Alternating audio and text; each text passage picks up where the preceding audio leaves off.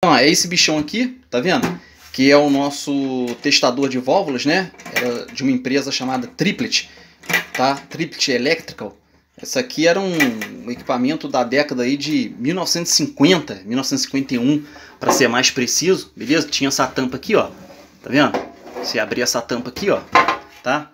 Aqui era o, cabo de energia, você ligava lá no, né, no 100, 127, 110 volts, né? De energia dele, tá aqui, ó, a marca dele, tá? Tá aqui, ó, triplet, tá? Modelo 3413A, tá? Como falei, isso aqui é um equipamento de 1951, tá? Então esse equipamento aqui é bem antigo, né?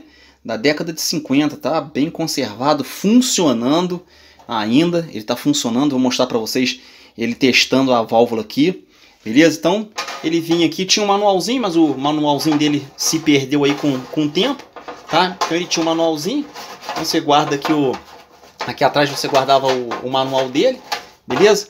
Então tinha esse equipamentozinho aqui, ó. Você fechava a tampa dele, ó. Ele era uma, uma caixa aqui, ó. Tá vendo? Tipo uma mala, né? Você fechava aqui, ó. Trancava aqui. Olha lá. Pronto. Pronto. Você tinha esse, esse baúzão aí que era o testador de, de válvula. Agora eu vou mostrar para vocês o funcionamento dele. Beleza? Vamos lá.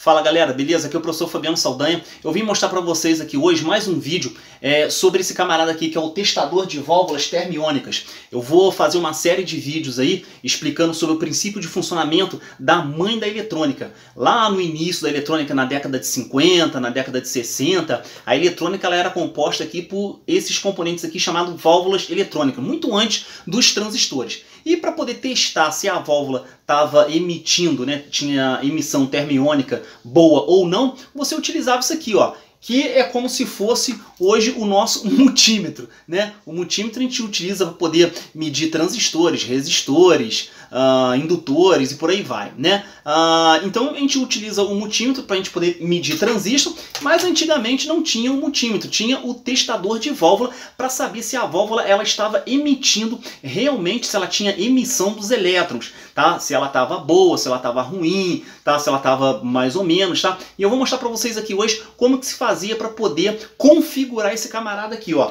Vocês sabem que o multímetro é só você girar aqui o seletor, você gira o seletor para você poder estar tá medindo o que, que você quer, lá o transistor, seja lá o que for, né?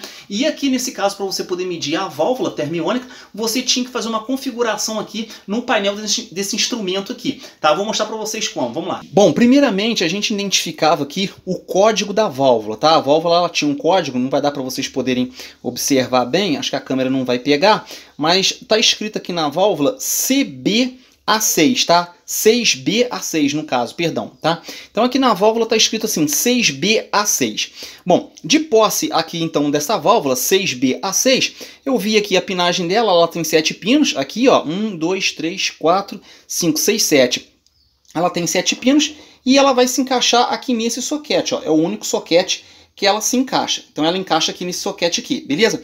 Então uh, essa válvula aqui, o código dela é 6BA6. Então a gente vai procurar aqui, tá, nesse seletor, aonde que está uh, essa válvula. Bom, eu giro então o seletor aqui, ó, tá? Tem um seletorzinho aqui onde eu giro, tá? Para escolher aqui uh, o tipo de tubo, né? Ou o tipo de válvula. A nossa válvula aqui que eu falei com vocês é a 6BA6. Então vamos ver se a gente acha ela aqui, ó. 6BA6, tá? Eu estou girando aqui, ó. Estou girando aqui, vamos ver, 6B a 6. Vamos lá. Ó, 6B. Tá aqui, ó. 6B a 6. Tá aqui a nossa válvula, 6B a 6. Então, qual a configuração dela? Bom, a chave A, no caso, ela tem que ficar no soquete 2. A chave A está aqui, ó. A chave A. Ela vai ficar no soquete 2, tá? Conforme pede aqui a configuração, ó lá. A chave B é o filamento tá? Então vão ser 6,3 volts. A chave B tá aqui, ó, é o filamento. Então vou botar ele para 6,3 volts, beleza? A chave C, aqui nesse caso, ela vai estar tá aqui para uma corrente de 23 miliamperes. Então vou colocar aqui, ó, 22, 23, ó, mais ou menos 23 miliamperes, ok? Então, é, e agora, olha só, essas chaves aqui são as chaves numéricas. Então eu vou botar em up as chaves 1, 5 e 6. Então, vamos botar em up aqui as chaves 1, ó, tá aqui, ó, 2, olha lá, 1, 2, 5 e 6. Coloquei em up. 1, 2, 5, 6. Igual tá pedindo lá. 1, 2, 5, 6. E as chaves 4 e 7 eu coloco em down. Aqui, ó. Chave 4 em down nela. Up e down. 4 e 7. Olha lá, em down. Beleza? Bom, agora o nosso tubo está configurado. A gente vai ligar aqui agora e saber se a válvula tá boa ou não. Então eu ligo aqui, ó. Olha lá, pode ver que acendeu o painel, tá? Olha lá, já logo de cara, ó, eu venho aumentando aqui, tá? Para aumentar aumentar aqui o nível de tensão da válvula, ó. E ela tá mostrando aqui, ó, não tá nem ruim nem boa, tá vendo? Ela tá aqui, ó, mais ou menos aqui com, com a emissão dela aqui, ó. Tá? Ela estaria boa se estivesse emitindo basicamente aqui, ó. Tá? Então estaria com uma emissão boa. Mas ela está aqui mais ou menos aqui, tá? Então, se eu desligar aqui a chave, ó, vou girar aqui, ok? Ó, vou girar, ó, desliguei, tá vendo? A válvula parou de emitir.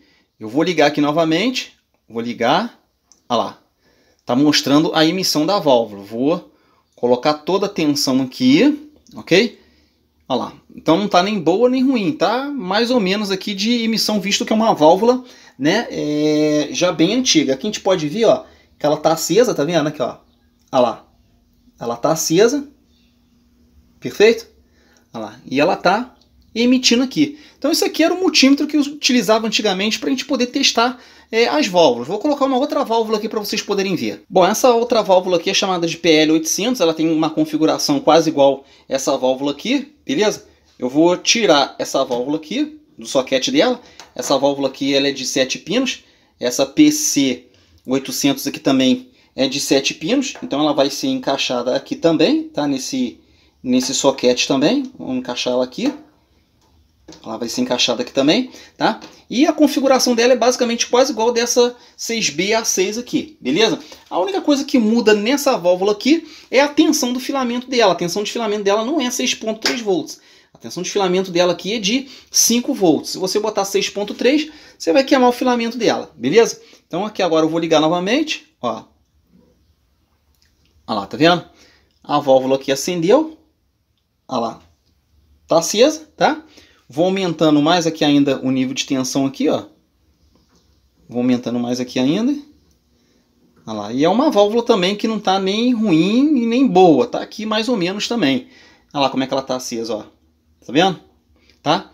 Então, isso aí era o nosso testador de válvula que tínhamos antigamente para poder saber se a emissão termoiônica da válvula estava boa ou estava ruim. Mas o que, que seria emissão termoiônica? O que, que seria a válvula? Como que a válvula funcionava antigamente, né? Isso vai ser alvo dos nossos próximos vídeos aí que eu vou mostrar para vocês como que funciona uma válvula eletrônica. Beleza, galera? Espero que vocês possam ter gostado dessa curiosidade aí de como que era o multímetro antigamente, beleza? E nos nossos, nos nossos próximos vídeos vou mostrar para vocês aí o funcionamento das válvulas de emissão termoiônica, beleza? Um abraço a todos, até o nosso próximo vídeo, um abraço, tchau, tchau.